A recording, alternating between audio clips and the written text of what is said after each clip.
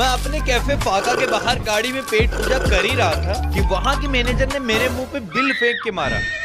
अब इतनी बेजती की बात तो मैं गाड़ी से उतर के बिल जमा करने से रहा। तभी मैंने डेढ़ डेढ़ लाख के आईफोन 15 प्रो मैक्स और S24 अल्ट्रा निकाले। और टेस्ट किया कि कौन सा फ़ोन यहाँ बैठे बैठे क्यू आर कोड को स्कैन करके पेमेंट करवा देता है। सबसे पहले आईफोन 15 प्रो मैक्स